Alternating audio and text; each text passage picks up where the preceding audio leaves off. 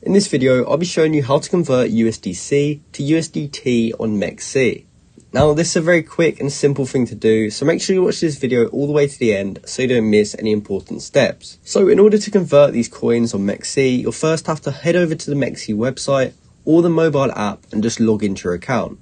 Now, since we're trying to swap USDC for USDT, I'm assuming that most of you have already got USDC in your account. If you don't, you will have to send some over or buy some, but this video is just going to be showing you how to convert one into another. So to convert, we can go up to the top left corner and look for this spot option. And we want to go down to the first option, which is spot. From here, we get taken to the spot page and this will allow us to trade coins inside of MEXC. So since we're trying to convert USDC for USDT, we're going to have to find the USDC USDT pair. And as you can see right now, it's on the Bitcoin slash USDT pair, so this is not correct.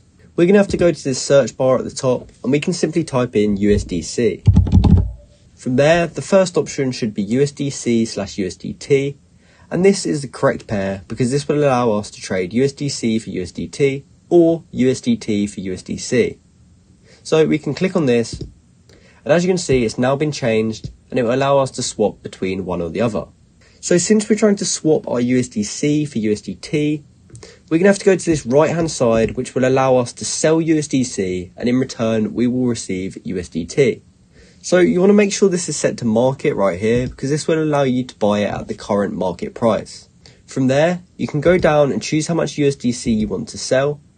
And when you're happy with that, you can go ahead and click sell USDC and that will actually swap your USDC into USDT.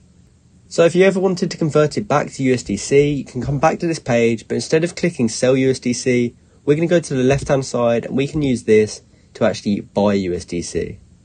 So that's how you can convert USDC to USDT on MEXC. I hope you found this video helpful. Thanks for watching.